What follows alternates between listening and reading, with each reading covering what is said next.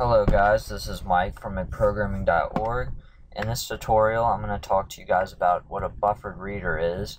Nowadays, I just use Scanner to read uh, text from files, but what was most commonly used before that was a buffered reader, and that really isn't what's reading a file. A buffered reader surrounds an input stream reader which is actually an object, or a file reader. And those are what the objects that read the text and all the characters on a file. And you wrap that into a buffered reader, and what that does is it's safer for your computer and more efficient to send all of the data into a buffer and then spit it out that way. And I'm going to show you how to create a buffered reader right now. But first, I need to create a file that we can even read. So right here, we're going to go click on the project that we're in. I'm just on Advanced 12 Buffered Reader. I'm going to say New File. And let's say example.txt. If you don't write .txt, you're going to have problems. So make sure you write .txt as the extension and we should have it down here and let's just write a few things. Um, hello my name is Mike. This is the second second line. Can't think of anything to type about. Blah blah blah. Alright so we got let's save it we got four lines of text right here and we want to send that through a buffered reader. And a buffered reader takes in two parameters. So let's start off and give a name. Let's say buffered reader and give it a variable name br and we're going to set that equal to null because we want to we want to instantiate the new buffered reader inside the try catch and we also want to say, declare a string. I'm going to say line. And that will be the current line that we will be reading from.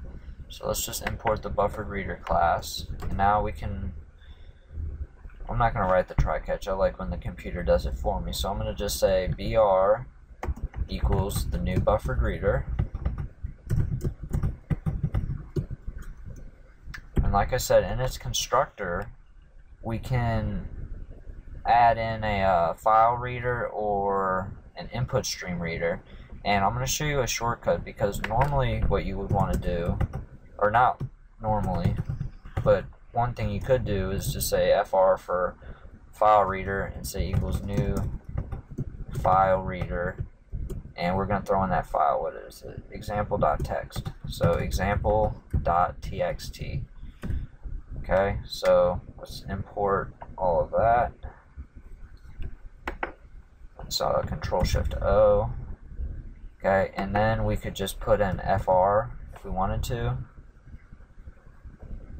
And we would have to try and catch this whole thing. Let's see, try catch.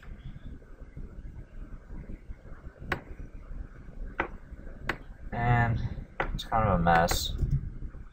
We can do it that way if we wanted to but I don't want to do it that way. The way I want to do it to show you how to save lines of code and actually make this less confusing is we're going to take this little segment right here and just create the new file reader inside of this constructor. There we go. So now it says br, which is the variable name for the buffered reader, equals the new buffered reader that takes in the parameter, a new file reader that reads this file.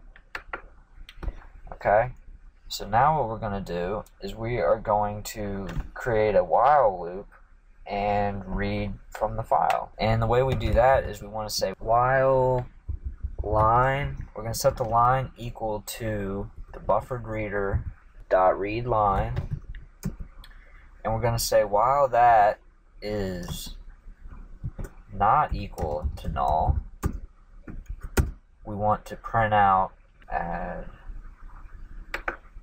Okay, so that throws an IO exception and a file not found exception. Okay, so the IO exception in the hierarchy will should overtake the other file not found exception. And now we can print out each line of text. So let's just do that. System dot out dot print line. We'll say line because we set line equal to the the buffered reader dot read line method. So we can just throw in line if we really wanted to. Okay, and that should be it. I think this will work. So there we go. We printed out everything from that text file, and that's what the buffered reader is. And what an input stream reader would do is it's a good tool for allowing to pass into an input stream reader into its parameters system.in for example because it wants to take in some type of input stream. So that is the basic buffered reader. There's also a buffered writer that maybe I'll get to in the next tutorial and if I don't I'll get into the scanner and show you how the scanner does a much better job or, or at least when it comes to counting lines of how much code you have to write and the simplicity of it how much better a scanner is for reading files at this point. So thank you all for watching